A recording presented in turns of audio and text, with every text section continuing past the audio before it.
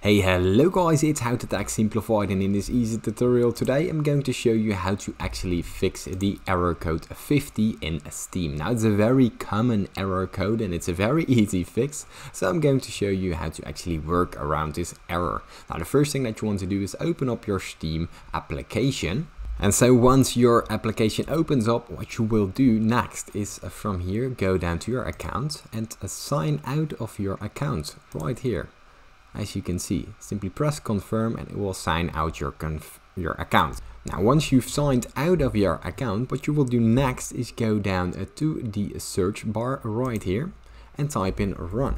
Now this will open up the application run and what you will do right now is type in temp. Now this will open up all the temporary files and what you can do is do Control A, select all of them, right click them and from there you move them to the bin. Now from here there will always be some files left around and you can't actually do that. So simply press do this for all the current items and press skip.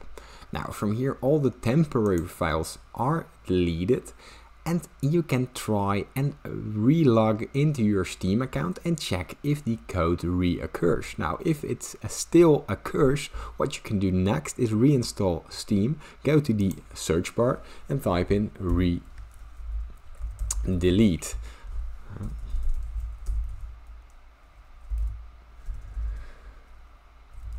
Remove.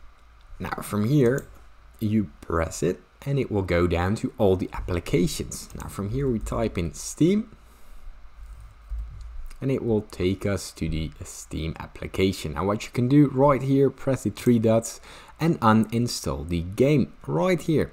Now this will fully uninstall it and now you can reinstall it and the issues should be fixed. If you still run into any issues, leave it in the comments down below. I'll try my very best to help you. If this tutorial has helped you, leave a like and subscribe. It helps me out a lot. Thanks for watching.